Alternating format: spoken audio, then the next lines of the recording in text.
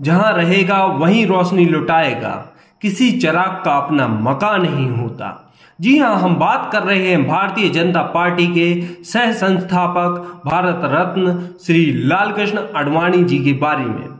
लालकृष्ण अडवाणी जी सबसे लंबे समय तक सेवा में रहने वाले गृह मंत्री हैं। लालकृष्ण अडवाणी जी की गिनती राजनीति के सबसे लोकप्रिय नेताओं में होती है। जनता का इतना स्नेह प्राप्त करने वाले विरले ही होते हैं।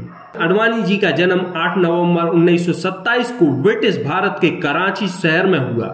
विभाजन के समय वह पलायन कर कर मुंबई में बस गए। उन्नीस सौ इक्यावन में अडवाणी जी भारतीय जनसंघ के सदस्य बने, जिसकी स्थापना श्यामा प्रसाद मुखर्जी जी ने की।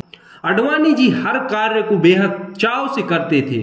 1970 में वह पहली बार राज्यसभा सदस्य बने और उन्नीस सौ नवासी तक लगातार चार कार्यकाल तक इस पद पर सेवा में रहे। उन्नीस सौ नवासी में वह पहली बार लोकसभा के लिए चुने गए। इसके बाद उन्होंने सात कार्यकालों तक संसद में अपनी सेवाएँ दी। उन्नीस से 2004 तक भारत के गृह मंत्री रहे। आज भारतीय जनता पार्टी जिस मुकाम पर है, उसमें लाल कृष्ण आडवाणी जी का बड़ा हाथ है। उनका विवाह कमला आडवाणी जी से 1965 में हुआ।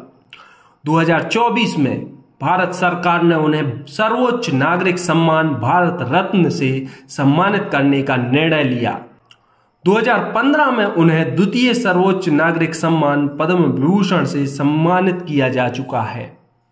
लाल कृष्ण अडवाणी और अटल बिहारी वाजपेयी की जोड़ी बड़ी लोकप्रिय थी। उन्होंने आपसी सामंजस्य से भारत के लिए जो कार्य किए हैं, उसके लिए भारत का हर वासी, उनका सदैव ऋणी रहेगा।